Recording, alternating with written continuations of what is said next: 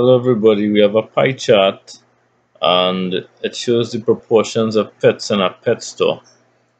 So we are told that the store has 900 pets in all. Okay, so we are asked to find how many of each pet does the store have and there are four types of pets. So let's start with the dogs.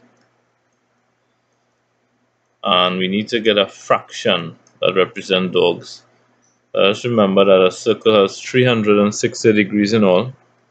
So the fraction of dogs will be 1 over 108. Since dogs has 108 degrees as seen here. Uh, divided by 360 multiplied by the total amount which is 900 over 1. If simplify this, can cancel these two zeros. 400 9 into 36, 4. 9 into 9, 1.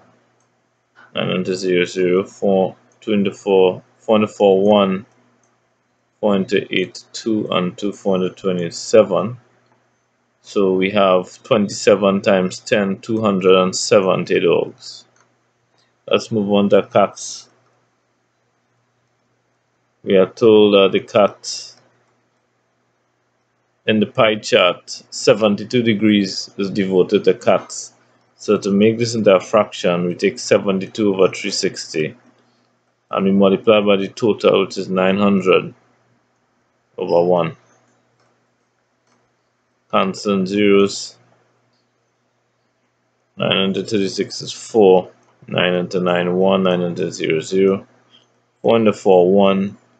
4 into 72, 441, 438. 18 times 10 is 180.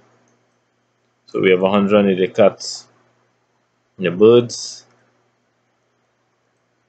100 degrees on the pie chart as a fraction it will be 100 divided by 360.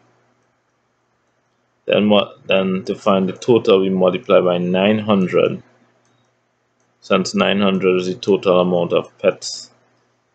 Constant zeros again. 9 into 36, 4. 9 into 90 is 10. 4 into 100 is 25. 25 times 10 is 250. Let's look at the fish now. 80 degrees, so 80 over 360 times 900 over 1 will give us our answer. 10 could go into these numbers, so the zeros cancel. 9 into 36, 4. 9 into 90 is 10. 4 into 4, 1. 4 into 80 is 20. 20 times 10 is 200. So when we add up these four numbers, we are supposed to get back 900. And this is our answer. Thanks for watching. Have a great day.